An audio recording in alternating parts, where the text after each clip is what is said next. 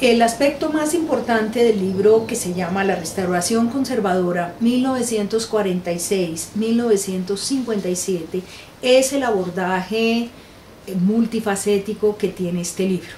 Es decir, no predomina allí eh, simplemente la mirada política, que suele ser la más abordada por los historiadores, sino que los antropólogos, los filósofos, los literatos eh, y los historiadores también pueden dar eh, su aporte para hacer de ese un periodo mucho más complejo y muy enriquecido. Las características de ese periodo que, repercuten y que perduran también en nuestros días eh, son varias. Pues una que es la más evidente, la más obvia, es que ese periodo es el periodo que nosotros conocemos como la violencia en Colombia, justamente.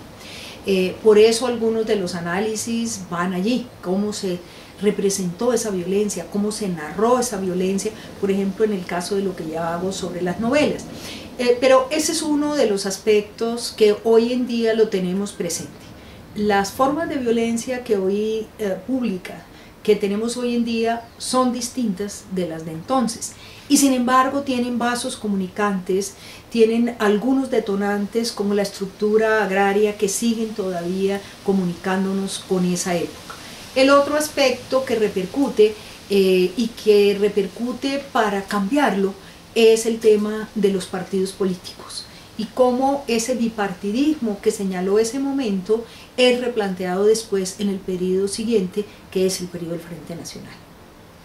Es importante un acercamiento multidisciplinario a ese periodo de la historia colombiana, justamente porque la historia de las sociedades es siempre multidimensional.